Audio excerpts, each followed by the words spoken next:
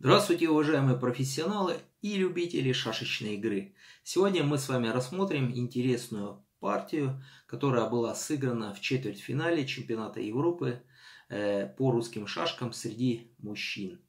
Играли два гроссмейстера, э, эстонский гроссмейстер Арно Уутма и белорусский гроссмейстер Игорь Михальченко. Данная партия была сыграна в Блиц, то есть с контролем времени 3 минуты на партию плюс 2 секунды на ход. Соперником выпал дебют, э, жеребьевка дебюта игра Шмульяна. То есть ЕФ4, FG5 и после размена CB4 черные здесь избирают э, интересное продолжение ЕФ6. Э, данное продолжение уже встречалось в партии между гроссмейстером Андреем Валюком и гроссмейстером Ионом Доской. То есть то же самое продолжение, но в той партии э, черные сыграли ЕФ6. Я подробно раз, разобрал этот, э, в это продолжение в дебюте. Можете посмотреть партию э, Валюк-Доска. Вот по Э, пройти по подсказке, выложу в верхнем левом углу. А сегодня мы рассмотрим продолжение, связанное с ходом GF6. Ну, сразу же скажу, что ход e, э, FE5 размен, он здесь э, очень плох, практически проигрывает. То есть у белых отсталая шашка 1, плюс отсутствуют опорные шашки на полях C1, G1, связка неприятная. То есть позиция белых здесь очень неприятная она подвержена сильному окружению со стороны черных. Но после хода fg5 белые здесь еще могут побороться с черными. Белые сыграли fe3, ну и после хода fg5 надо размениваться. И размениваться именно вперед. В этом продолжении у черных есть э, два хода. Либо cb6, очень сильный ход, а вот ход э, ef6 здесь плох. Почему? Потому что белые размениваются на поле c5, надо размениваться черным. Белые нападают на шашку черных, надо отходить. И здесь э, выигрыш шашки не ведет к победе за белых, так как черные вот таким разменным маневром э, сводят партию в ничью. То есть так играть бесполезно. Поэтому э, в этой позиции Белые обычно нападают ходом fg5, ставят черным ловушку. Черным надо играть d5. Ну и после того, как э, белые забирают одну из шашек, э, вот такой размен он проигрывает за черных. То есть так выиграл в 91 году э, гроссмейстер Ион Доска у мастера Наномедова. Кстати, вот эти э, многие из вариантов очень хорошо описаны в книге чемпиона СССР Андрея Иванова «Путь к вершине». Всем рекомендую к прочтению. То есть белые здесь легко побеждают. Надо сыграть dc5, единственный ход на победу. Ну и после bc7 точ, точно играем аб2. Теперь на d7 или cb6 мы просто играем cd4. Ну и выигрываем за счет обладания центром. А после размена cd6 белые играют b3 и здесь э, позиция в пользу черных. То есть на АБ6 играем АБ4 и после FE5 DE3. Белые легко побеждают. Но, друзья, все-таки хочу отметить, что в этой позиции у черных есть ничья. После нападения играем DE5, побили. И надо не размениваться, а пожертвовать еще одну шашку. И вот теперь провести тот разменный маневр, который мы уже видели. АБ4, АБ6, и бьем 2. Ну и тут выясняется, что белые не могут победить. Например, dc3, gh2, ef4, ставим дамку, fg5 играть надо. Ну и теперь черные играют на поле b6.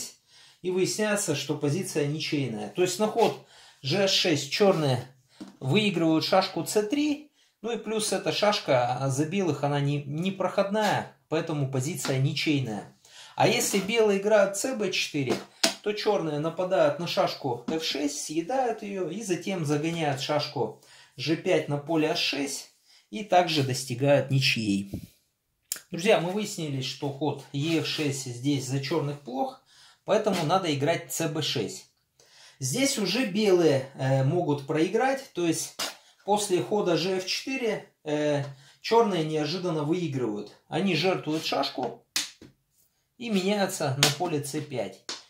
И выясняется, что левый фланг э, белых надежно связан черными, а после вынужденного хода ЕФ4 черные нападают, надо отходить, и черные проводят красивую комбинацию. Можете поставить видео на паузу и попытаться найти ее. Черные жертвуют одну шашку, пропускают белых дамки, затем жертвуют еще две шашки, бьют в дамки, и после того, как белые обязаны побить шашку черных, черные вот так красиво завершают эту партию. Поэтому в этой позиции нападать за белых нельзя, это проигрыш, надо размениваться, единственный ход. Теперь черные играют bc7, именно так было сыграно в партии Утма э, Михальченко. Ну и здесь Арно Утма ошибся. То есть у белых еще была ничья, для этого надо было точно пойти ходом gf4. Ну и как бы черные не играли, э, здесь ничья. То есть можно провести вот такой удар, он ведет к ничьей. А, ну лучше, наверное, пойти cd6. Ну и после размена белые играют d5, черные играют b3 и белые играют cd4. И во всех вариантах черные достигают ничьей. То есть если черные меняются назад, мы просто идем в дамки. Если же черные играют АБ4, то мы размениваемся назад. То есть грозим разменяться на поле С1, то есть на ход BC5 или F7 или FG7. А если черные размениваются, то играем АБ2. Ну, это позиция ничейная. А может быть даже и D5. Тут уже перехват скорее будет за, за белых. Если же черные в этой позиции размениваются вперед, то мы тоже меняемся назад. И эта позиция ничейная. Ни одна из сторон здесь не может победить. Партии же Арно Утма ошибся, он избрал ход АБ2. Вообще данная позиция ярко демонстрирует э, окружение в русских шашках. Она очень красивая. Э, так что всем рекомендую изучить ее. То есть в этой позиции черные неожиданно играют FG7. И выясняется, что центр белых он рыхлый. То есть во всех вариантах э, э, выигрывают именно черные.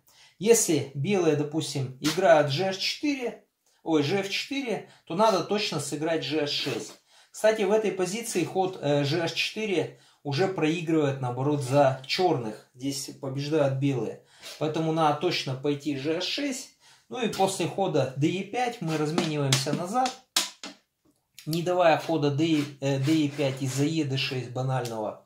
Поэтому приходится играть B3. И после размена остается ход только АБ4. Ну и здесь черные легко побеждают. Кстати, друзья, хочу э, показать вам позицию после как раз хода черных GH4.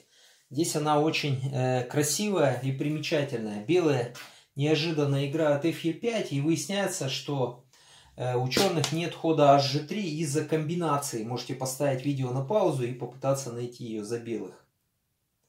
Белые неожиданно играют ef6 и выясняется, что в эту сторону бить нельзя, так как белые останутся с лишней шашкой. Поэтому черным приходится бить на поле e5 Тогда белые проходят дамки. Ну и происходит просто разгром позиции черных. Белые здесь легко победят. Поэтому в этой позиции черные играют g6. Ну, ход э, ед6 ведет лишь к ничьей, поэтому надо играть ef4. Теперь черные размениваются назад. И белые играют э, de3. И после хода fe7 надо пойти точно fe5.